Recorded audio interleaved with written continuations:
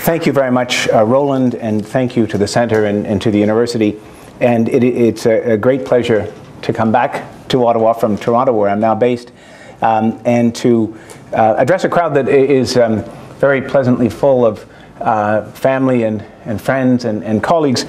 In other words, a, a very tough crowd um, and a very knowledgeable one about the topics I'll be speaking about. So um, uh, it's an honor and a challenge to do this. The book, uh, I'm, and you'll find this out soon enough, I'm not a sinologist by any stretch of the imagination. It's, it's a book about two places, not one place. It's a book about a middle power and a middle kingdom. It's a Canada-China book. And it comes from my own reflection, and I, I, I left government service in, in 2012 uh, on my life's work. It's very natural at the end of your career to think about um, the, the path or the trajectory that um, that work is on. And retiring after 32 years, I asked myself if I could say that our foreign policy uh, was more capable and effective, and particularly in relation to that hugely important country that's been at the center of my professional life. And I was haunted by a, a quote that I had seen some years before I retired um, in uh, Peter Hennessy's uh, wonderful book about public service in Britain called Whitehall. And early in the book, Hennessy has a quote that, as I say, stuck in my memory, and not in the nice way. It was, it's not much fun in your Indian summer to have to endure well-publicized claims that you have presided over 30 years of failure, and that nothing short of a transfusion of new blood and new methods will suffice if your country is to survive the results of your life's work. I did have a sense uh, that as much as uh, I'd had a chance to contribute with wonderful colleagues, things weren't exactly on the right track, and I couldn't uh, absolve myself entirely of responsibility as much as I tried. And sitting down and thinking about the book and talking to Canadians and thinking about the Canada-China relationship was my approach at accounting for this or trying to, trying to explain why we're on the track we're on and, and trying to offer up some ideas for how we might get off it on, onto a better, uh, a better track. As I say, my career has um, largely been spent watching China rise to global power and influence over the last 30 years. That steady rise has been uh, both a byproduct and a shaper of a changing world order, one that has significant consequences for Canada. Simply and briefly put, we're witnessing the emergence of a world in which how we do foreign policy matters a great deal more than it did even a decade ago. So we need to think of foreign policy in much more ambitious and existential terms. When I speak of foreign policy, I don't just mean the occasional and entirely discretionary deployment of diplomats, aid dollars, or F-18s as our contribution to the la latest international crisis, an intervention motivated largely by our sense of duty, whose duration is entirely determined by us, and one whose lessons we're free and very likely to ignore. I mean instead the clear-eyed, dispassionate, and to a certain extent self-interested navigation through a changing international scene, the smart and connected management of those things we can manage so that we maximize the upside and minimize the downside of a world order that is much more challenging to us, but one that also offers us new and exciting possibilities. It's a world order that has China very near its center.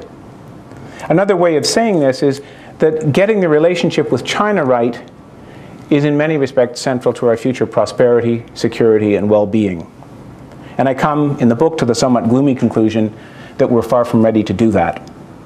I've spent the three years since I left Beijing thinking about the relationship, how it's developing, where it's going, thinking about China's very mixed impact on us, and whether we actually aspire to manage it as a foreign policy challenge for the future. What's really interesting to me is that we engage China, or are being engaged by China, on two planes. There is the traditional official diplomatic relationship with Ottawa and Beijing as the two poles. But there's also a lot happening at the personal level, at street level. Both are worthy of attention, and both are susceptible to smart policy responses. At the official level, to paraphrase a, a wise uh, Australian diplomat whose reports I once read, he said of Australia, well, we may not have a China policy. It's pretty evident that China has an Australia policy. And I'd say, the same thing is true for Canada. It's pretty evident that China has a Canada policy. And if we think of things like the engagement of uh, China's uh, state owned enterprises, their interest in investment in, in Canada, to a certain extent, that is, it has a state dimension to it. If we think of China's efforts at soft power promotion, including the encouragement of the establishment of Confucius Institutes in, in Canada. Um, if we think of uh, cyber espionage or interference in Canadian society, when I think back as uh, at how I was managed as a, a, diplomat in Beijing by a China that was very thoughtful and very careful about the daily messages that it wanted to send to Canada. It was evident that China did have a, a, a Canada strategy. And when you think about it, China's engagement is, of us is, to a certain extent, a tiny sliver of China's larger regional, multilateral, and increasingly global activism, except that we don't think about it much. Ours is a policy of fits and starts. And I'm, i was reminded, and in the book I mentioned this, of our approach to China after uh, a, a, gradual re-engagement starting in 2008, 2009, culminating in a highly successful visit by uh, Prime Minister Harper in early 2012. The Chinese uh, uh, quite excited about possibilities uh, and, and really uh, in, in, an uncharacteristically um, uh, engaging way offering us things like the start of free trade negotiations, and then Canada suddenly going silent and completely silent. And the, the memory that that conjured up for me is having read in my history of the uh, great Mongol army that approached the gates of Vienna in 1241. All of Europe was ready for the taking, and they mysteriously melted back into, into Asia. For them, the excuse was the death of the great Khan. I'm not quite sure why we stopped at the gates of Beijing, but we did. If our formal official relationship is marked by a disinclination on our part to see it steadily and see it whole, it's even more true in relation to that great outpouring of enthusiasm and personal energy being released by Chinese students, tourists, and immigrants eager to discover Canada. It's having a very powerful impact right across the country but we're not spending much time thinking about how to maximize the upside and minimize some of the possible downsides of such powerful global trends. I spend some time in the book talking about these people to people trends, and let me break them down. Education is one, and at the embassy, I spent a great deal of my time thinking about Canada China educational linkages and promoting education and I think to a large extent we're, we have been on the right track, and, and, it's very gratifying to see that Chinese students represent about a third of our international student population. But it's too easy for us and too much of a cliche to think of things and to say things like education is an export. It is an export to a certain extent, and it's part of our services trade, but it's much, much more than that. And we need to be sure, and those institutions are succeeding, that whose relationship with Chinese students starts when they come to Canada. It doesn't end when the first uh, tuition check clears. And I, have spent time, every time I'd come back to Canada as ambassador, I'd stop at another Canadian university. And I, I found places like uh, Thompson Rivers University in Kamloops, where the whole community has come around and welcomed their Chinese students, made them feel at home, welcomed them into their society. That's a great example of how we should be approaching this. Um, University of Toronto Scarborough has a very successful uh, program in the summer to help Chinese students understand how Toronto works, which, uh, as you can imagine, is not always easy, and welcoming, welcoming them into the university community, but also into the larger part of that, uh, that city where they live. So thinking about student experience is important.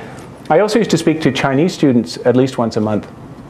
And invariably in the Q&A session, I was asking them how they found things, how the visa experience had been, where they wanted to go in Canada. There'd always be one nervous student who'd, who'd raise his hand or her hand and ask the question that they were all waiting for, and that had to do with Canadian winter. And I had to admit, I didn't think I could get away with it unless I was speaking about, you know, the uh, UVic. Um, the, in fact, winter seems to be uh, a regular fact of Canadian life, but that most of us survive it. And we uh, talked our way through some of the challenges that winter poses. And I remember one young woman who was very honest with me, and she said, look, I was accepted at McMaster University, but I was so worried about winter that I, instead I, I, took the offer I got from the US. And I said, where was that? And she said, SUNY Buffalo. so, but the other side of, uh, of, education is thinking about the outbound voyage of Canadian students, and I worked on a project last year on, on Canada's Asia competence. How are we doing preparing Canadians for a future in which Asia will be steadily more, more important? And I found that there's still just a trickle of students in the other direction. You know, President Obama visited China in 2009 as well, and it was a pretty unsatisfactory visit. The Chinese were feeling their oats, they were feeling confident, and they treated him uh, with uncharacteristic coolness and a degree of disdain. And the only real success of that visit was when Obama proclaimed what came to be known as the 100,000 Strong Initiative. And he said, over the next four years, I'd like to see 100,000 Americans travel to China for their studies. And so he's using the bully pulpit of the presidency to give permission to uh, students to do something that is that uh, challenging and that uh, uh out of the ordinary. And in fact, the Americans have succeeded in doing just that. We need something similar. We need to think of education more truly as a two-way street. I spent a lot of time thinking about tourism. Chinese are now uh, the, the most numerous tourists in the world and the most free spending. And we got back into the tourism business with China in, in 2009. And it's having an, a mixed impact across the country. Some places get it. And I, I, made sure that I traveled to the two bucket list destinations for Chinese travelers. One of them is not surprisingly Niagara Falls. The other is Butchart Gardens out in Victoria. And if you're Chinese and come to Canada, you've got to have the T-shirt that says Butchart Gardens. And what's really interesting is both places in Niagara Falls and in Victoria, or just outside of Victoria, when I talk to people, they're thinking really carefully about things, and these are sort of no-brainers, like providing service in Chinese and hiring talented uh, students who speak Chinese to, to work in the gift shops and the restaurants. Uh, they're thinking about what kind of an experience Chinese tourists like to have, what they like to buy, and most importantly, uh, what Chinese tourists like to eat. They're changing the menu. And, and the, the cha that chapter heading is called Breaking the Breakfast Barrier, because I think that breakfast is the uncrossable cultural divide. We're sleepy and, and we're in need of comfort. And if you go to a hotel in China and you see the Chinese breakfast and Western breakfast, there's a pretty significant breakdown. You don't see many people crossing the breakfast divide. So those Canadian uh, tourism venues that are willing to, to cross the divide uh, to think about uh, what Chinese tourists want. And we're, we're seeing rapid change from China being a, a place predominate, where, where, it's predominantly tour groups to high net worth solo individuals who want an experience of Canada. Those people, those destinations, wherever they are in Canada who are thinking about this are, are doing very well. I also spent some time talking about migration and trying to understand uh, what's happening in terms of real estate in places like uh, Vancouver and Toronto. This is a, really interesting uh, issue because it's not very well understood. You have one body of opinion that says uh, foreign investment in real estate has no impact whatsoever. And that's dominated, not surprisingly, by people who are in the real estate business. But there are other people who say, no, it, has got to have some impact. And, and, these are urban planners and, and you know, uh, people who study urban affairs who say, and I think this is true, that what we're seeing is a global phenomenon where people who have a lot of money are interested in the term that uh, a guy named Andy Yan, who's an urban planner in Vancouver, used is they're, they're parking it in desirable locations. It doesn't matter whether the source of that money is Calgary or Shanghai or Moscow or uh, the UAE. But he said we need to think a little bit about the parking rules. And I think what's happening in Vancouver, although I can't point to the statistics because we don't have the st statistics, is that a lot of that money is coming into a very limited market. And uh, observers as eminent as The Economist have found that the Vancouver market, real estate market, is becoming delinked from the Vancouver economy. And that becomes a pol public policy question, and it's one that behooves a, a debate, it, it behooves some kind of understanding of this global phenomenon, and an interest in the smart policy responses that places like Sydney and London and San Francisco are thinking about to maximize the upside, to be as welcoming as possible, but also to think about the unintended consequences of that much cash flowing in from around the world. And finally, when the cash comes from China, and China is regrettably the number one source of hot money in the world, there is a tremendous problem in China with corrupt officials absconding with money and ending up in countries like Canada. We also have to be a little bit more curious than we've been about where the money comes from, and it's probably not something that we should leave entirely to the real estate industry to police. And I'm not casting aspersions, but I think we need to be more, more curious than that. So, if getting the relationship with China right is central to our future prosperity, security, and well being, why the disconnects? Why aren't we getting it right? I look at things on, on three levels. I think first, And this is fundamental because Canadians are not willing to accept that things are changing. And polling, polling done by the Asia Pacific Foundation of Canada shows a tremendous ambivalence about China, an ambivalence that is entirely understandable, but not particularly useful as the ultimate guide to, to policy determination. More to the point, the choice of engaging China or not engaging China is no longer entirely up to us. China is engaging us. It demands a smart response. And when I say that the government went silent after early 2012, I think it went silent largely because it was reading this growing ambivalence. China was moving quickly, suggesting things like free trade. We had the proposal by China National Offshore Oil Corporation, CNOOC, to invest to take a controlling share in Nexen. Canadians felt that things were going too far, too fast. Again, not unreasonable views, but I think that was the time for a national debate to say, for a leader to say, the world is changing. China is offering us opportunities and challenges we can't ignore what's happening, nor is it in, in our interest to ignore what's happening. We need a, a smart policy response, and here are some of the things we're considering. And that's not what we've had. And I'll come back to, to point to some examples in the past where we've risen to that kind of challenge.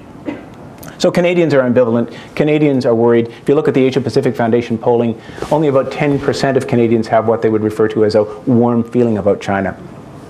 My second concern flows from my profound conviction that the Canadian Public Service is, absent dynamic leadership at the very highest levels of government, ministers and above, that the public service is, without that, unequal to this challenge. When public servants talk about whole of government initiatives, they really mean policy as a sum total of what every department has on its wish list. When Ottawa talks strategy, it really means inventory. And, and I say this by invoking uh, the experience, and it was exhilarating and, and life-changing, but also painful, of uh, working on Afghanistan and, and, working on our engagement in Kandahar. And I've got a lot of distinguished colleagues in the room who were part of that. And the, the fundamental challenge for many years in our engagement was, despite endless and boundless rhetoric about whole of government engagement, and despite having launched ourselves in a tremendously complicated and challenging mission in Kandahar, when you actually really did need to integrate your diplomacy globally with uh, a very generous aid program with whatever the Canadian forces wanted to do in, in Afghanistan, that had to be done in a Canadian, for a Canadian reason. We had instead three separate programs running along that tried their best not to bump into one another. And it was only the intervention of the Manley panel that brought about the, the change in, in governance. And that's often in Ottawa kind of a boring and messy subject. But it brought about the change in governance that got us, for a few years at least, onto that coordinated track. And the central message that John Manley and his colleagues brought to the Prime Minister was that you, Prime Minister, have to own the mission in Kandahar and direct it from the very center of government if you want that kind of coordination.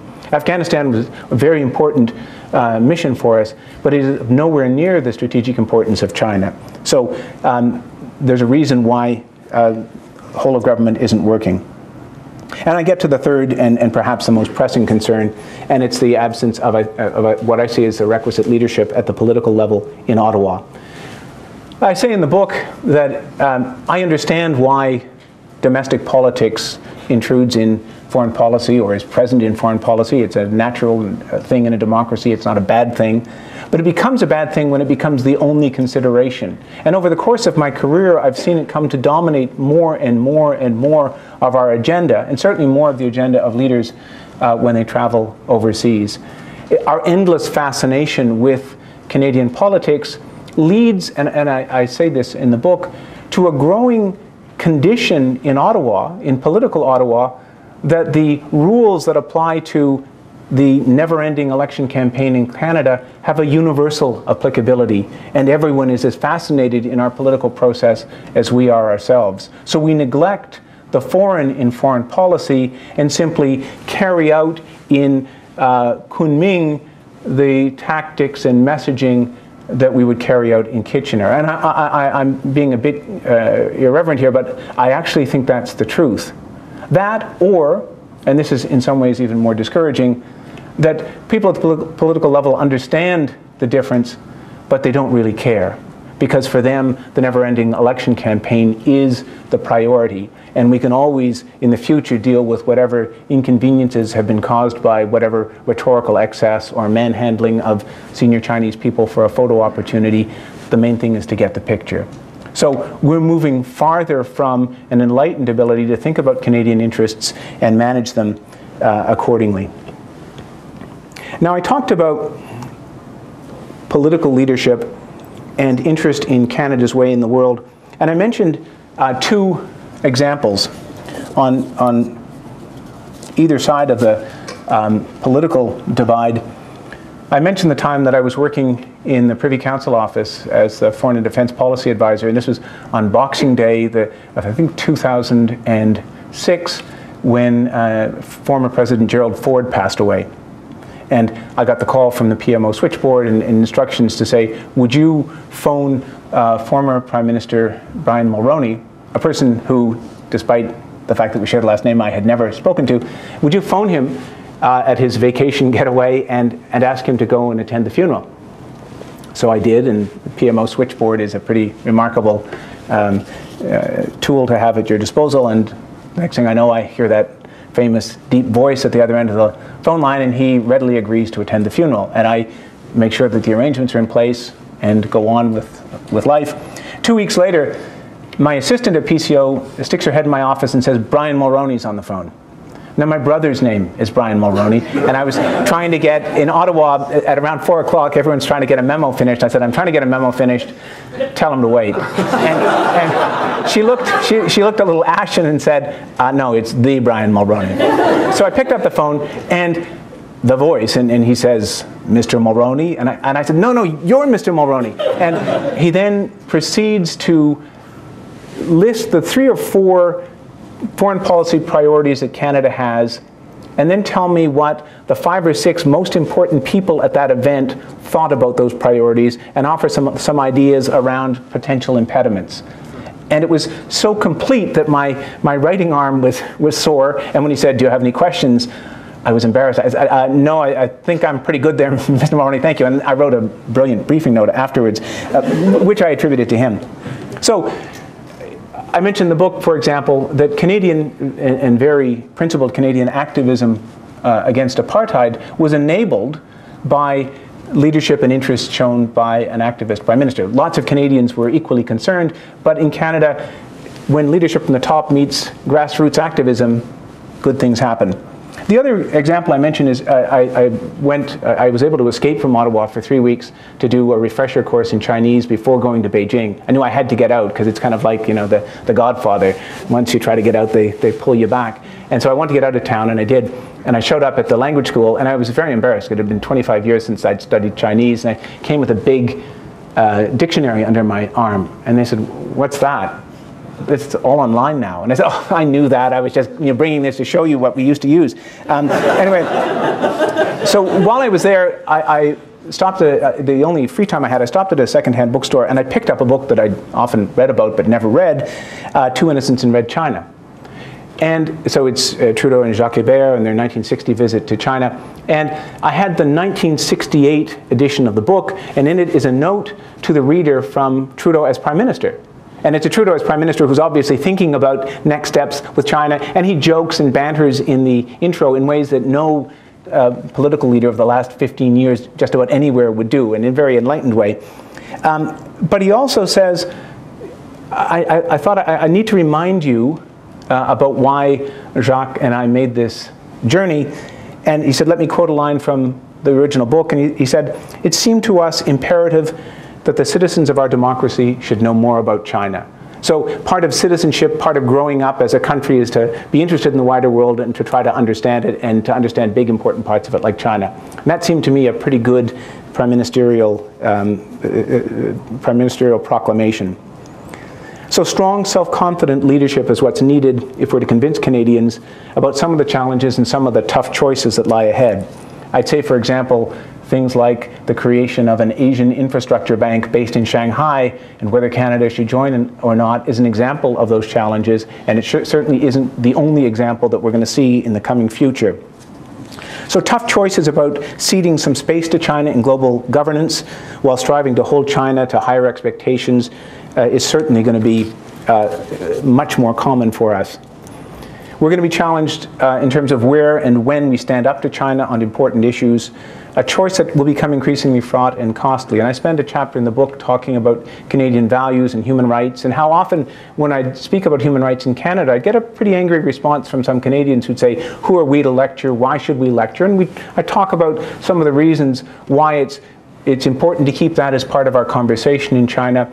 Uh, talked about the fact that there are lots of what I call constituencies of change in China, lawyers who want to be the best lawyers they can be, and journalists who want to be the best journalists, for whom it's really important to know that other people care about those things too. The other reason is that a confident and capable China is increasingly able to take its arguments out into the international space. I was buttonholed by the ambassador of Fiji, a country not untroubled by human rights abuses, who told me we were at a function in Beijing thrown by the foreign ministry. And he said, um, you know what's great? Rise of China is great. He said, we used to have to listen to you and those pesky Australians and New Zealanders who, and Americans who were sanctioning us. Now we can completely ignore you and get on with business. And if you look at uh, Fiji's economy, you'll see that China plays a much larger role than it did 10 or 15 years ago. So we've got to have the backbone and self-confidence to take that debate to the wider international space and, and to uh, engage China. Not to confront China or enrage China or to deal with them in such a way that the conversation ends, but we've got to have the conversation. Let me just close by saying a few things. If there's a subtext in the book, it's a book about the Foreign Service, and it's a shout out to um, many of the colleagues that I see here, including Chef Roslin, who has a, a key part uh, early in the book and who became the star of our um, Twitter like uh, feed, Weibo, she was way more popular than I was because she tweeted Canadian recipes and food products. And I'd go to Chinese universities and say, how many people are following Canada's uh, Weibo? And I'd see lots of hands go up. And I'd have mentioned about five or six times that I was a regular contributor. And I'd say, anybody in particular you follow? And then they'd say, Chef Roslyn. So, um, uh, so uh, it's a shout out to the Foreign Service because I, I, do a lot of talks in and around the GTA. And I, I um, meet people after the talks. And I'd find that increasingly people were coming up to me saying, I didn't know foreign service officers did all those things. I didn't know that they visited people in prison. I didn't know they promoted Canadian trade. I didn't know they stood up for human rights. And I talk about that, and I tried to illustrate in the book the various things that foreign service officers do and try to introduce some of the people who do it. I got to say I worry that if we allow that institution and the larger public service to be shunted into the shadows, we participate or we acquiesce in Canadians forgetting about why those institutions are important, why they're fundamental to the success we've enjoyed uh, as a country and as a society. So there's a, in there a, a shout out as a, uh, to, the, to the, the Foreign Service. And it's also about my own experience uh, as a public service, and I talk about, for example, uh, being a religious believer, a Catholic in China at a time when China decided, again because it was feeling its oats, at a time when the Vatican was trying to um, bring about a rapprochement with, with China when it decided to crack down on the church and on priests and bishops, and how it was the first time in my personal experience as a very lucky Canadian in, from a prosperous society where all kinds of rights are, are, tolerated and respected, to live in that, and, and that it gave me, I think, at least a small understanding of you know, the much larger challenges faced by Tibetan Buddhists and by uh, Uyghurs and, and other uh, ethnic and religious minorities in, in China. So I came away trying to report honestly on what's happening, hoping, hoping to provoke at least some discussion about why China is important and why we need to engage China with all of the tools in our inventory, including uh, a public service and a, and a foreign service. But I also came away feeling not discouraged, but strangely optimistic. And I came away feeling optimistic because as I wrote the book and thought about the book, I kept thinking about examples of Canadians in China. We're, we're all familiar with the example of Bethune, but there were two examples uh, of, of, several that I mentioned in the book that I want to share with you as, and maybe to offer some in, insight into why I'm optimistic. Uh, about in the last two weeks of our posting, my wife Janet and I were rushing around uh, trying to you know, do inventories and prepare hand no handover notes and do everything you have to do before you leave. But we also wanted to sneak away to see a couple of the things we'd never managed to see while we were in Beijing.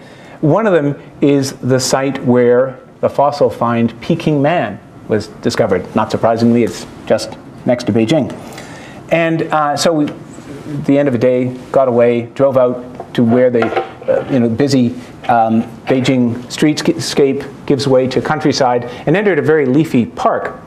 And you know, I, I've said before that just as Navy SEALs are trained to do very complicated tasks, assemble heavy machinery at the bottom of a swimming pool and things like that, Canadian diplomats learn to recognize references to Canada at a thousand meters from a speeding car or through a sandstorm. So we're going into uh, the Peking Man site, and I see the pictures of the famous uh, uh, researchers and academics who, who helped to discover Peking Man, and I see someone, I see a reference to Canada, I'm sure. So I stop the car, go back and look, and I see there before me the story of Davidson Black. So Davidson Black was born in Toronto about 1890 uh, did his uh, undergraduate education in Canada, went on to the U.S. He was uh, did his first degree in, in medicine, but became um, an anthropologist and paleontologist, part of a team of people, including the you know, brilliant Jesuit Teilhard de Chardin, exploring the origins of early man. And he got himself a posting to uh, the, what is now Beijing University. And then it was a small college started by people like, I think, the Rockefeller Foundation. And so he was at the center of all these expeditions going out to discover things. And sure enough, a team comes with a molar, a tooth, found very close to Beijing, and they dig for more things. And Black is the, the person on the scene who says this is a significant step in the development of the human species, and it's so significant that it deserves to be called Peking man. So that's, that's a, a, a big contribution. But why the Chinese remember Black is that he also insisted, and there was a team of distinguished international academics, but Black insisted that Chinese researchers be part of the team, that they not take the bones and the molar back to Harvard or to Tokyo, that the research be done in China, and that Chinese uh, paleontologists and anthropologists be developed and be part of this team. And the Chinese never forgot this. And then finally, he was so dedicated and so hardworking that he died at his desk. So he's fondly remembered in China, maybe less well known in Canada, but a great example. And the final example I'll cite is um, I made a trip uh, down to, and uh, David Bostwick is here, will remember this, to Yunnan, and I had some business to do in Yunnan, but I also, and I, I admit this now, if there were certain things that interested me personally, I would try to sneak away at, on the weekend or in the afternoon to, to see that. And I'd read a book by an underground Chinese writer called Liao Yiwu. And the book is called, he, he, this, Liao, Liao Yiwu is, I, am not sure what his personal beliefs are. He's not a, I don't think he's a religious believer. But he wanted to write about these little pockets of, these thriving pockets of Christianity in Yunnan. He's always interested in the, the sort of underbelly of Chinese life, the, the, those who, don't, who aren't prospering, who are struggling, the fighters. So he's interested in the Christians of Yunnan. And I was so fascinated by the book, I said, if we get a chance, I want to sneak away and try to meet a couple of these people because I, I was interested in religious freedom. I want to understand what motivates them and what keeps them going. So one of the people I met was a, a nun who is one of the few people I've met, uh, people in China actually born in the Qing dynasty. So she was born you know, before 1911 and she'd survived the Cultural Revolution and slept on the floor in front of her church and just a, a feisty, remarkable person. But we also met an elderly couple.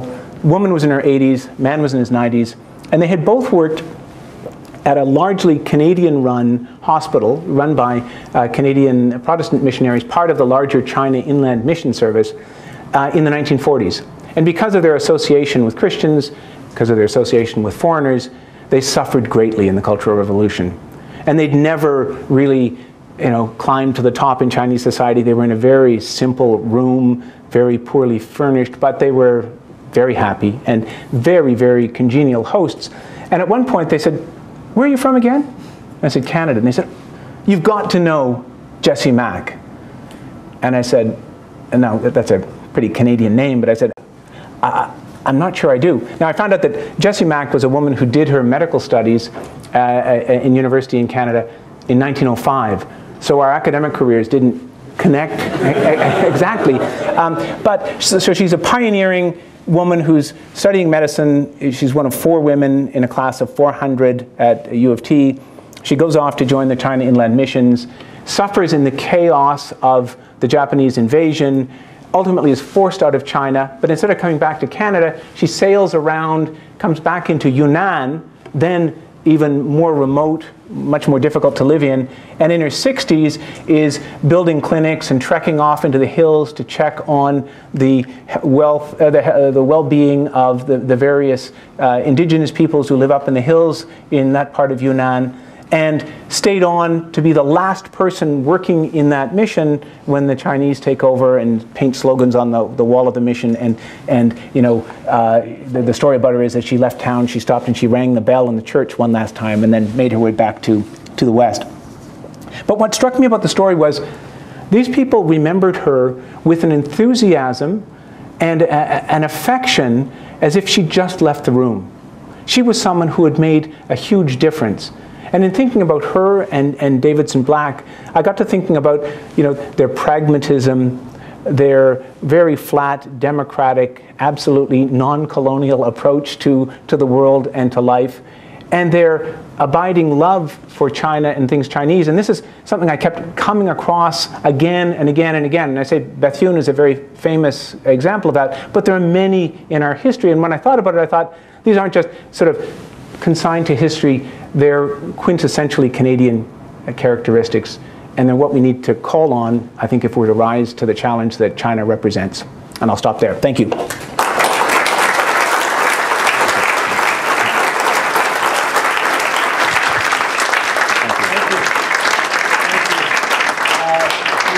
lucky David uh, does have time to answer some questions. We have just about a half an hour. So let me just um, remind you of our house rules, and David is going to be calling the questions himself. But do we have floating mics? The one, two, okay, good. So we are recording the session, so when he calls on you, just wait a moment for one of the microphones to be passed to you, please. Please identify yourself. And then here's the big one. Please keep your question relatively short. No big long speeches, please. Uh, I deputize you to uh, be the bad guy. Call for a question if somebody starts a speech, but I'll leave it to okay. you to call your call your. Question. Thank you, thank you, Roland. Yes. Thank you. Thank you so much for for the book. First of all, I haven't read it yet, but I will. I promise. My name is Vasily Kultyshev. I'm third secretary at uh, the Russian embassy in Ottawa, yes. and my question is, like on a bigger scale, what do you think of BRICS? That's it. Thanks. So BRICS, um, Brazil, Russia, India, China, and, and the S that is on sometimes South Africa. Um, you know, honestly, uh, we had a slide, and, and this was a very self-serving slide from the embassy in Beijing, which we called a brick buster, because I think BRICS is a convenient acronym, but it actually obscures more than it communicates, because they're, they're very different members, uh, and, and BRICS is often thought of in economic terms, but uh, in raw economic size and power and trajectory, China stands very different from the other BRICS. And in terms of engagement with Canada, if Canada is to think of the BRICS. And so one of the reasons I was frustrated, and it's not that I don't respect the individual BRICS, they're all very important countries, but sometimes in, in uh, the Pearson building, headquarters of Foreign Affairs and International Trade and now Development, um, just as I said, they have people have trouble strategizing it's not that because they don't like to strategize. So just as you'd say, let's, we need to think about China, someone would say, but we need a BRIC strategy instead. And so then they'd step back and further back and, and designing a strategy for that includes uh, a Brazil and a South Africa, not to mention a Russia and an India as well as a China looks very big and cumbersome. And we come back to a stat that showed that uh, just as China is not anywhere close to being as important to us economically as the US is, Many Canadians are still surprised to see that it is a very significant number two. And in fact, it is larger in economic terms, in, in import-export terms, than uh, the next ones, uh, UK, Germany, Japan, uh, and France added together. And it's growing faster than they are. So sometimes I'm not sure that it, in a Canadian uh, perspective, it, it's as useful to, uh, to conceptualize in terms of the BRICS. And I think we're seeing a little bit of restiveness among the individual BRIC members. They're not, not all the same. There are some other groupings, and I, I think the Shanghai Cooperation Organization is another one that's worth watching. Certainly the multilateral world, the world of organizations is changing, and the challenge for Canada will be to decide, you know, which ones, where, and when. My own focus would, and it's my prejudice being a, an Asia-focused person, but I think there's some groups in, in Asia that we have to get a little bit closer to first, including ASEAN, the Association of Southeast Asian uh, nations and some of the things there. So I, I'm, I'm less of a brick believer than others. Thanks. I'm going to go to this side and then back, so one and two. Uh, you, sir. Hi, David. How are you doing? Good to see you. Um, I ju- quick question. I don't want to put you on the spot or anything. Well, from let's forget it then. No. Kevin. I know this may be a little sensitive about your successor, but just curious. You know, a couple of years ago, there was this sort of you know there was played out in the Globe and Mail this question of oh you know I mean will a government appoint have a political appointment as your successor, and curious to get your views on sort of the, the relative benefits and costs of that. So having a sort of public service or foreign service appointment versus a political appointment in a relationship that, as you say, is, is so important to Canada going forward. It's, it, it, this always, the danger is this becomes kind of ad hominem and, you know, it, it shouldn't be that. I mean, first of all, I'm a professional, I was a professional foreign service officer, so my loyalties are to the professional foreign service. I think there are some postings where uh, a, a gifted political person can make a real difference. But they tend to be in places that are not like China. China is a place where government matters, and people who understand governments and work with governments uh, quite naturally uh, are much better than, than sort of freewheeling political commentators. They're better, I think, in places like, like Washington, maybe, or Los Angeles, or o- o- often in places where uh, the, the rules are a little bit uh, looser and allow, they allow the, the larger than life political officers more scope to, or, or political people more scope to operate. I think in China you actually need uh, a, professional diplomat. And I, I talk about, and I, you know, the, there was some play about uh, being critical of uh, Minister Baird for largely ignoring the advice of the, or ignoring the people from foreign affairs who traveled with him, focusing more on the Chinese ambassador. And I did say those things, and I, and I thought long and hard before saying them because it, uh, I didn't like to say them, but I think I had to say them. The reason I said them is because um, Chinese ambassadors and Chinese diplomats are very professional, and they're always on. And I, you know, I, I've talked about how, you know, at one point you're, you have a very sunny, rosy meeting with someone, and the next day, if they're mad at Canada, it's an entirely different person, and you wouldn't believe that you had the conversation the day before. So there's always an agenda. Uh, cards are held close to the vest, and it takes a long time to learn how to operate in that environment. So I think it's better to have diplomats, and ideally diplomats who've served some time in China, serving in se- senior positions in China. But I, I also uh, acknowledge that I, you know, there, there, there are people out there who could prove me wrong. But I think generally you're safer going with uh, with public service experience. And I'm going to go here and then back. Uh, David, Bruce Montador, Yeah, course, yeah. senior fellow here, but formerly Canadian executive director at the African Development Bank, where I was also, and maybe many of you may not know this, the Chinese executive director, because Canada represents China at the African Development Bank. Uh, and, and a long time before that, I was in finance during the Asian financial crisis. So my question, which I was going to ask you, and you raised it, actually, you're interested, is on the Asian Infrastructure Bank, where actually Jin Liqun, who was my opposite number in the Chinese foreign finance ministry when, during the Asian crisis, is the, the chairman of it. And what's interesting is there's been no public discussion. They're all about the Brits upsetting the Americans and then all the Europeans. And I haven't seen anything suggesting that we should join, which I think would be a very good idea. But I would be interested in your reaction to that. This is playing out as things shouldn't play out from a Canadian perspective. And it's playing out that way um, because we're not having the kinds of conversations that we need to have with like minded countries about what's important to us, how the world should work. Not anti China conversations, not ganging up on China, but conversations that prevent us from being split off the way the Europeans have, in such an unseemly way, been split off. And I, yeah, I, I don't mean to cast aspersions, but uh, British policy recently on issues ranging from Tibet to Hong Kong has been pretty soft. And that Britain led the, uh, the, the scramble, the European scramble into the bank, I think is, is unfortunate.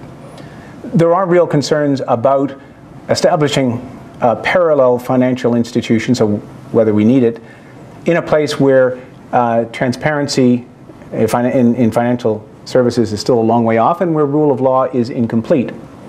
It was ironic and not connected, and people have a tremendous habit of not connecting things on China. China gets a free pass on a lot of things. That as people were discussing this rush to entry, it was also announced that uh, the website for Reuters, you know, the, the European shining light on all things financial, was closed down in China.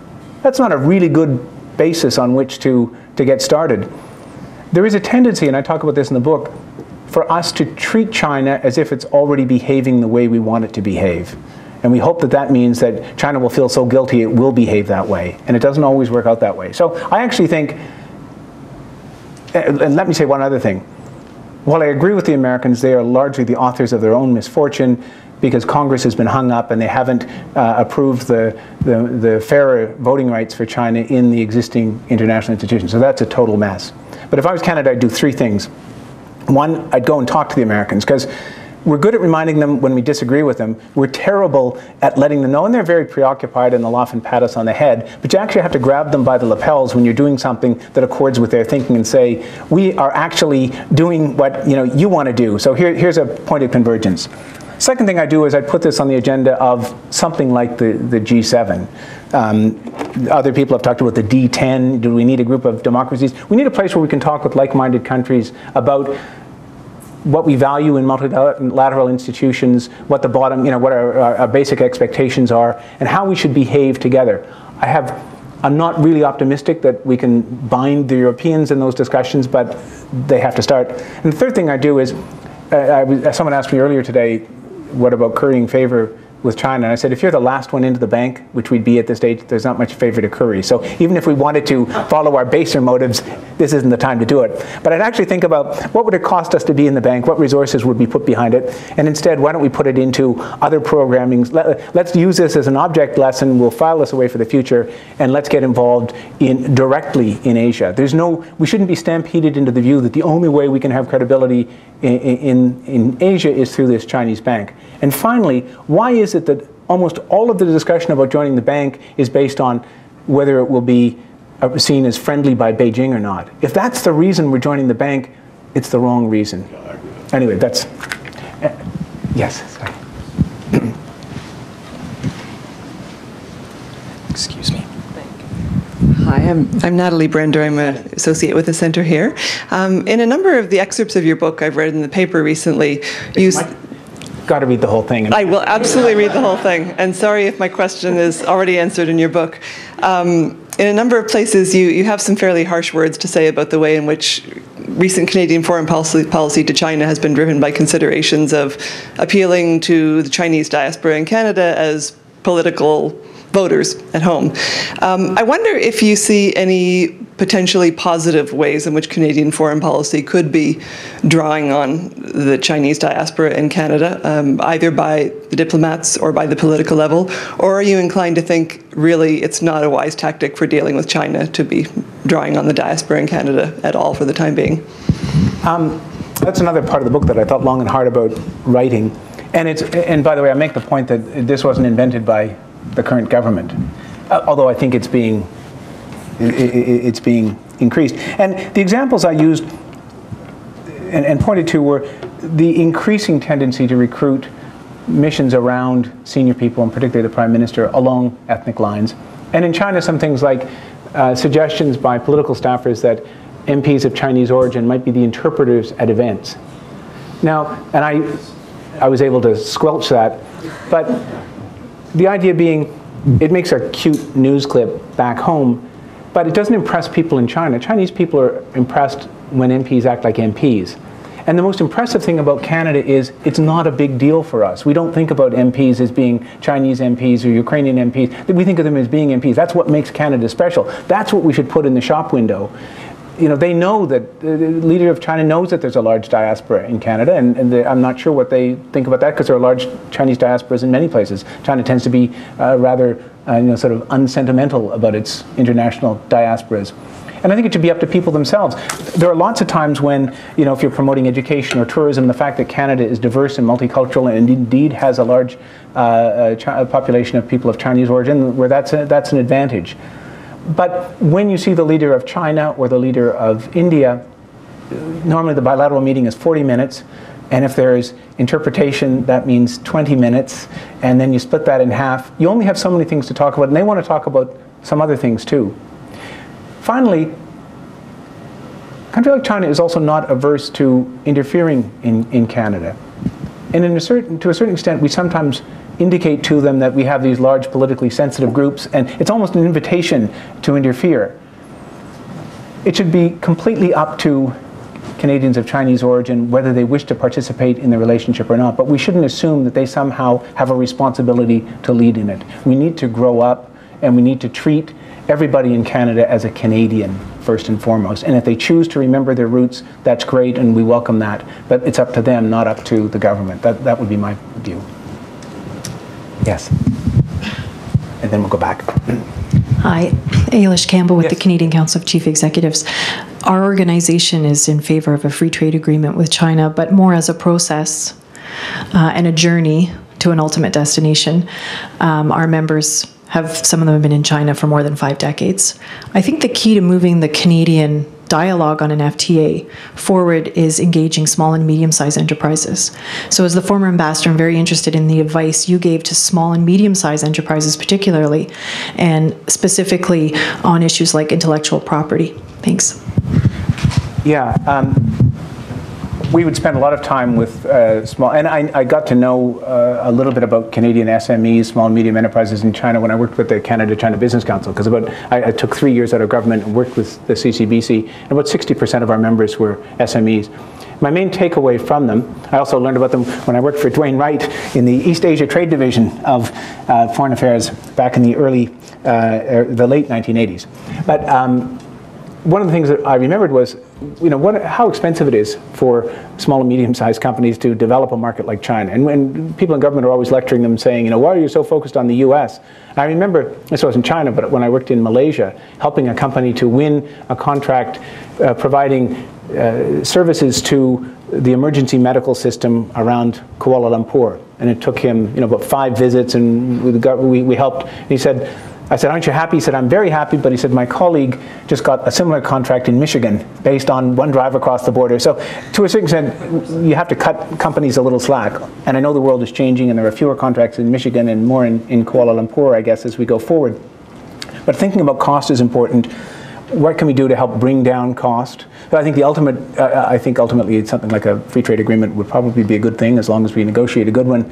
But in the meantime, how do you make it easier for companies to learn about China? How do you create opportunities for them to network in Canada with other companies that have been active? Uh, one of the most encouraging things I saw when I was in China was the growth of you know, Canadian banks and law firms and business advisors who can advise on things like intellectual property protection. That's still a huge problem, but it is less of a problem, as you know, depending on where you are geographically. You're more likely to get a fair shake in a Shanghai or Beijing than you are perhaps in, in other jurisdictions. So the, the law is being applied selectively in some places, so helping people to find out where that is, helping them to minimize risk is important. And the other thing I talk about is engagement by subnational governments in Canada. And I saw some premiers and some mayors do a tremendously effective job of helping their exporters. I make the point, and this is after having been exposed to the Team Canada process, I became less and less convinced that the Prime Minister should be the main trade promoter. I think there real, there's a real downside to that. But there's no reason why a premier or a mayor or a minister can't be. So uh, I, I saw uh, some very effective work by people like the mayor of Vancouver, the mayor of Calgary, uh, the mayor of Ottawa, the mayor of Waterloo. Not so much in the last couple of years, uh, surprisingly, the mayor of Toronto, and, and his staying home was probably a good thing. But the good news is that John Tory and, and um, uh, uh, Kathleen Wynne are both more interested. Why subnational units of government are interesting and can help SMEs is there's still a kind of a rough reciprocity in China. So if you're part of a mission led by a mayor or a premier, you'll often get a chance. The Chinese are very good at recruiting the people who come to the events based on who's on the Canadian delegation. And it often gives smaller Canadian companies a chance to meet counterparts that it would take them five or ten visits to, to China to, to get to meet. So the smart use, and certainly the Americans and the Europeans are very, very good at this. So the use of um, subnational governments, um, the growth of business advisors, including Canadian business advisors in China, is helpful. The, the, the, the spreading ecosystem of respect for rule of law in China, which is still imperfect, but it is much larger than when I was there. These are all good things.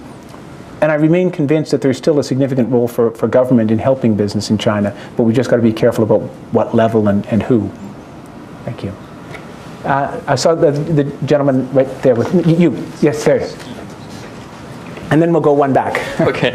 Hi, Michael Lambert, PhD student at the Sorbonne Doctoral College and University of Tampere in Finland. My question will be more like on Ukraine. When you just look at the current situation, the European Union, United States, and Canada are trying to put some pressure on Russia, but it's obviously not working very well. Don't you think that it would be very nice to improve the relationship with China in order to have the Chinese people put some pressure on the Russian side in order to solve the conflict? Or did you have a strategy about it? What do you think about it, at least? there, there's always uh, been um, a, a, a, great hope that China would be, uh, and it was described once as, uh, you know, a responsible stakeholder and play a larger role in international affairs. There's a very hopeful piece in the New York Times today suggesting that China is actually playing a behind-the-scenes role on negotiations between uh, the Taliban and the government of Afghanistan with help from Pakistan.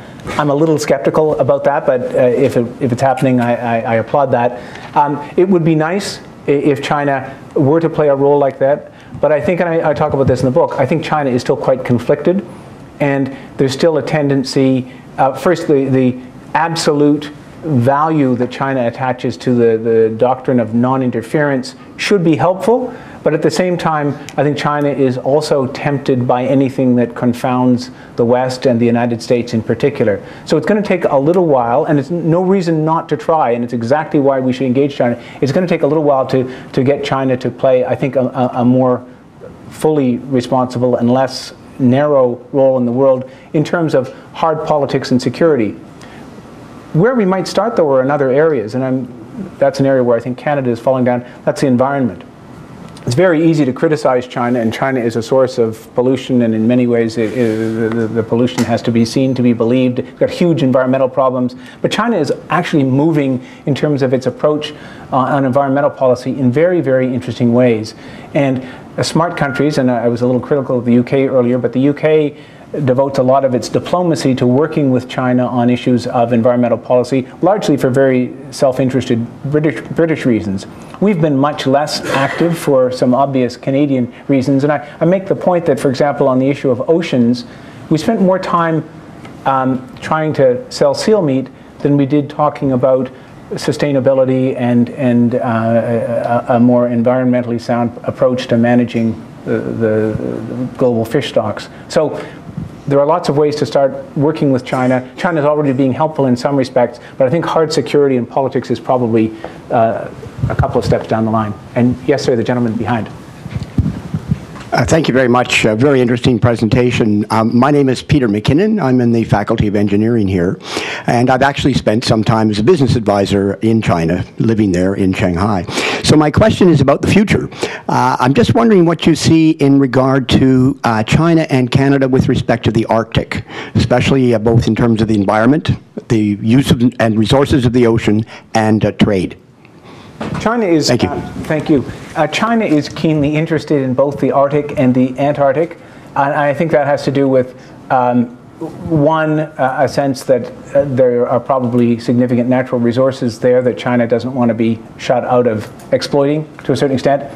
And two, because I, I, think there's a great sense in China that if there are important global clubs, China has to belong to all of them, including clubs relating to the Arctic and to the Antarctic. And so they've built or are building uh, icebreakers for the Arctic and, and the very different ones required for the Antarctic, and they're spending a lot of money on research in both places.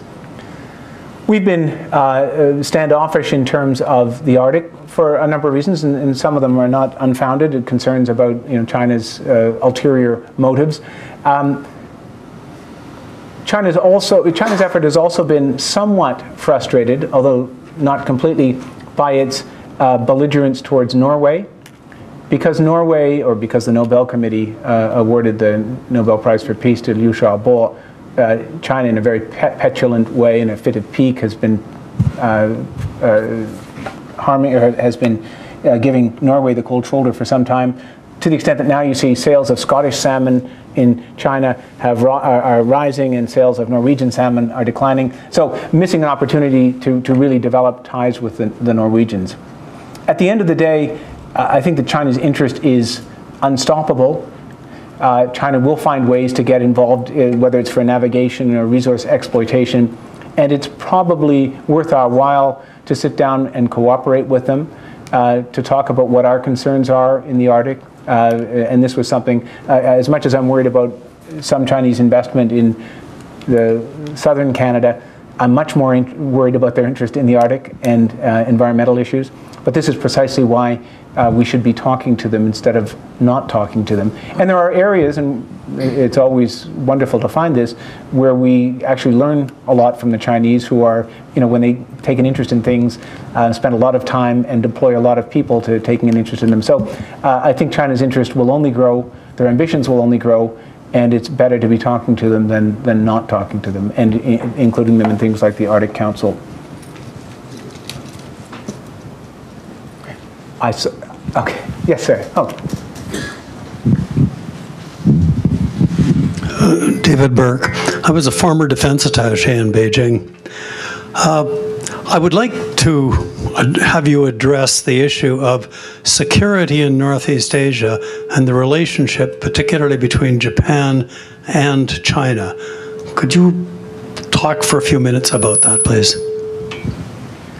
Uh, I think that relationship is one, and I, I, I, talk in the book a little bit about our focus on the Ukraine, which I think is a, a, serious problem, and the Middle East, which is an even more serious problem, but a tendency not to be as interested in what's happening in um, the Western Pacific, uh, off um, Japan and and China, which I think is dangerous. Maybe a little bit less dangerous than it was even six months ago, but still uh, very dangerous. And I mean, there are varying schools of thought on um, why this has happened. Certainly, to a large extent, I think it has to do with uh, the incompleteness of uh, Japan's apologies and uh, atonement for the terrible damage it inflicted on China, the terrible human suffering it inflicted on China in a, in a war that went from the mid 30s until 1945. So that's, that can never be forgotten but it also has a lot to do with China's very selective use of Japan as uh, a whipping boy and it's a distraction. So China is currently encouraging people to come to a parade to celebrate the anniversary of the end of the Second World War, and in so doing, reminding people in China of all these grievances, but its memory is much more selective when it comes to things like uh, the man-made famine uh, of the Great Leap Forward, the chaos of the Cultural Revolution, the tragedy of Tiananmen. So when countries start playing with history like that, the effects are always dangerous. But China's thinking, uh, so, so some people say that you know, by 2008, 2009, the world is telling China it can do no wrong, China begins to believe this, and we see a new assertiveness in Chinese policy. And just as soon as that school of thought uh, appeared, uh, a different school of thought appeared that said, no, this is completely standard. And, uh, but I, I, I, believe that um, China was becoming more assertive. And certainly uh, pushing out against Japan and disputing these islands that are either the tail end of the Japanese archipelago or uh, a piece of uh, islands off the coast of China. Um, also began pressing against the Philippines and um, very aggressively enveloping islands that had previously been claimed by the Philippines, and also pressuring Vietnam. But China's ultimate objective is to cause the United States and the US Navy to lose the confidence to operate the way it has operated in, uh, that, on that side of the Pacific. So uh, there is a more aggressive posturing by China. There's a lot of talk about you know, access denial technologies, technologies that would make it impossible for, for the U.S. to operate its carrier fleets uh, as close to China as it has in the past. Uh, technologies like cruise missiles that can strike carriers. So the ultimate objective is a bit of saber rattling uh, with the, the Americans themselves. Where this gets really dangerous is when you consider, and, and the establishment of a, a, a an air defense zone uh, off China that requires commercial airliners to file flight plans with the Chinese, something that the US and Japanese air forces promptly ignored. But what you, what you have now is a series of navies operating in very, very close proximity. Chance for error is always significant. And in many ways, the most worrying outcome uh, could be a clash between China and Japan that China loses because Japan is still technologically superior and that leads to further Chinese humiliation and even more dire consequences. In the absence of any kind of security infrastructure where they can sit down and talk about these things, uh, makes it very, very difficult to get to the bottom, as does, and I have to come back to this, continuing uh, Japanese stubbornness uh, in terms of things having to do with uh, a, a, war that's now very long ago. So it's, it, it really is uh, very worrying. Although there was an interesting article in um, a, a, magazine called The Diplomat, which focuses a lot on uh, defense issues, where somebody said that the approach to the Chinese Navy of today, the way the US Navy sees the Chinese Navy, is the way that the Royal Navy and the French Navy thought of the Italian Navy in the late 1930s. And in fact, they designed the wrong strategy for an enemy that was never as formidable as they feared, and that caused them to, to make even more serious mistakes. So um, I always worry a little bit when some of the people who are most worried about uh, Chinese technology are people like the US Navy who have a stake in building carriers and more ships. But I think we're seeing a very different China, and there's reason to be worried about the Western Pacific. Yes, Bob. Right behind you. Thank you. Thank you, David, for this very enlightening uh, presentation. Um, I think it was Casey Stengel that said that predictions are always difficult, except, especially about the future. Um, and I'd like to ask you for a little crystal ball about uh, where China's going, if you if you could. Um, if you look at our other big partners, and maybe this is one reason why that some Canadians are hesitant about dealing with China. Uh, the European Union in 20 years will be a democracy, thriving economy, no, no, no doubt, maybe bigger. The United States will continue to be a thriving democracy with a, an expanding economy. Where will China be in 20 or 10 years?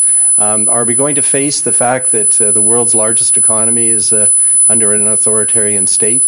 Um, these are questions I think that people are sort of uh, trying to mull through as they approach China. And I'm not sure if it's dealt with in your book or not. I, I don't get into too much crystal ball gazing, but I talk about a couple of um, trends that, if not addressed, could lead to instability in China. And there's a, a very distinguished China watcher named David Shambaugh at the George Washington University who just wrote a piece on the coming you know, collapse of China that's been very controversial and generated a lot of, of heat. Uh, even Shambaugh, though, saying you know, he thinks that there will be, we're seeing the beginning of the end game, uh, allows himself you know, uh, 10 years or more for this to play out. I think a couple of things are, are evident now. One is that the current President Xi Jinping has, has sort of defied uh, most confident expectations of two or three years ago when people said, well, the one thing we can be sure of in terms of the Chinese leadership is it'll be more consensus based and the era of a, a powerful single leader is behind us. Of course, Xi Jinping is uh, powerful and authoritative and has succeeded very quickly in putting his stamp on much of the you know, machinery of government in China. He's clearly in charge. And he's also been very forceful in promoting his vision of you know, the, the Chinese dream, the, the great renewal of the Chinese nation. And he's not afraid to reach back into Chinese history. Most, many people uh, have been comfortable with the divide in Chinese history that says, in modern Chinese history, that says there was a revolutionary part that was, you know, um, exemplified by uh, Mao and uh, Deng Xiaoping is a, so there's the revolutionary early years and that were heroic but also very chaotic and included the Cultural Revolution. And then you had a transitional figure like Deng Xiaoping who ushered in this area of economic progress. So people were happy about sort of shutting off that revolutionary, chaotic part into the past. Xi is not afraid to reach into the past and invoke some of the feelings and some of the patriotic energy that that, uh, that brings with it. So it's, these are, are different times. Um, I do think, and, and, this is where uh, I think Shambaugh, David Shambaugh's critique comes into play. What China has, what, what China has done essentially is try to put off perpetually some fairly existential questions about the nature of, or the relationship between the people of China and the government of China. And they would like to put off forever the question of what is the relationship and the accountability of the government and the Chinese Communist Party to its people. And this is most acute when you think of things like uh, questions of rule of law. There's a lot of interest in some kind of possibility of uh, some kind of legal reform in China. But the ultimate question of is the party the font of the law and therefore forever above the law, forever newly creating it, or is it subject to the law? The fact that China hasn't addressed this, I think, is uh, marks an inevitable point of you know crisis and contention in the future. It's, it, it, it, it's a point that they, the party itself cannot forever put off. President, President Xi Jinping is involved in a major crackdown on corruption against the tigers and flies in Chinese society. It's very popular, but it's probably going to have to be very limited because it can't come close to his own power structure in China. And I think ultimately the failure of the party, the inability of the party to engage in the kind of reform that would actually see its own rule and legitimacy challenged will mean that China is laying up uh, problems for the future. Problems that will be exacerbated by the effects of demographic decline, significant environmental problems. We tend to see an all-powerful China, but from, the from China looking out, you see a China that's beset with significant problems. Xi's having a short, a good run in the short term, and he's putting the lie to people. He's, he's doing a kind of a Lee Kuan Yew of, you know, uh, the benign authoritarian rule. Uh, I don't think that's, that's a long game. I don't think he's got as long as Lee Kuan Yew had, nor do I think China is Singapore. So uh, my own sense is that within five to 10 years, we will see an increasing degree of instability in China that can be dealt with if the party is willing to engage, even at this late stage, in meaningful uh, political reform. And I don't mean declaring elections tomorrow, but I mean getting back to the business of building democracy from, from the grassroots, not forestalling discussions about empowering people and institutions. But if they don't do that, uh, within five to 10 years, we'll see, uh, I think, significant instability me to uh, thank David Mulroney for today's event. Um, as I was listening to your analysis, David, it struck me just how um, informed and balanced and sophisticated it is. And the thought was going that was going through my head was how rarely we hear informed and balanced and sophisticated analysis of uh, Canada China relations your uh, comments here, and I'm sure in your book, which I repeat is on sale uh, outside the room, uh, include a number of not just observations but cautions um, that um, I think deserve to be heeded. Um, and um, the the fact that you have such a large number of people interested in hearing you speak, including so many people that you've worked with before, I think is a reflection of the respect uh, that you have uh, among uh, your peers and among those who have worked for you, and um, and it's evident why. Uh, so uh, let me just say again, thank you for your your public service, for your ongoing public service, and I think we all look forward to reading the book and hearing more from you in the future future. Thank you. Thank you.